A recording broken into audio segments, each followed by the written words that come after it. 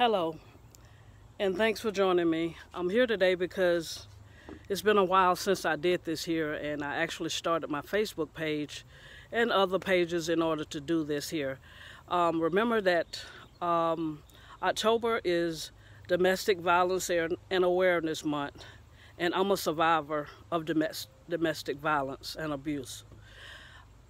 The way that I give back, um, I'm not good with my voice, suffering from social anxiety, but I'm growing. So I wanted to do this video to show you guys a couple of things. Um, instead of speaking, this is how I do my work. I do it by hand, by making throws to spread awareness. So I come here today because it's that time of the year and if you know anyone that's a survivor, or if you're a survivor yourself, or a friend, or anyone that you would like to be considered for these three different throws that I am giving away, all you have to do is pay for the shipping. I think that's only fair.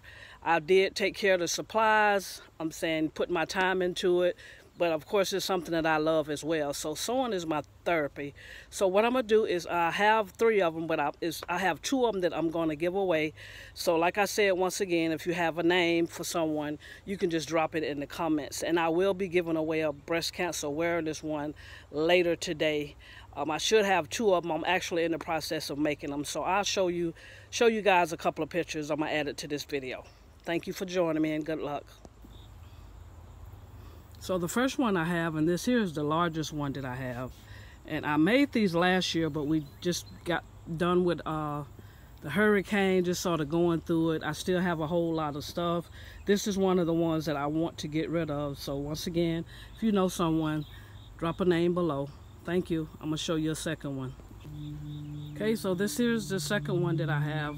It's a smaller version of one, but it still does the same, raise awareness, just giving it to someone who's a survivor or just someone that you would like to brighten their day to say, okay, well, you did it, you know, and, and just give them something. So this is the second one, and I have a third one that I'm going to put up, and that way you'll be able to decide which one you would like.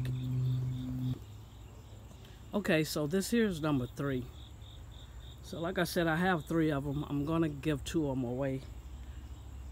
So let me know what you think. And like I said, anyone can um, participate. If you're a survivor, if you know a survivor, you just want to show your support, show your love, then you're welcome to them.